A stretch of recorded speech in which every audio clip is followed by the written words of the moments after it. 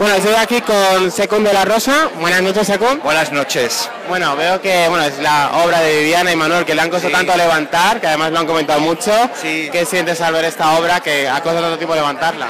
Pues a ver, primero muchísimas ganas porque yo sé que este proyecto lo tenían de, de antes, ¿no?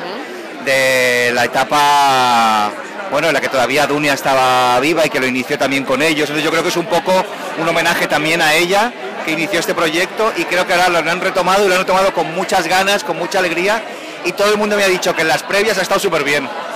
Tiene una pinta excelente, desde luego que Tengo sí. unas ganas de verlo, además soy muy fan de Manuel Bandera porque me parece un tío majísimo y un actor excelente y un cantante de la hostia, lo tiene todo. Y, de, y para mí Viviana es como uno de mis iconos. Totalmente. Sí. Eh, bueno, te hemos visto en el disco de Cristal, una obra que ya digo yo que es preciosa y que desde luego a mí me encantó.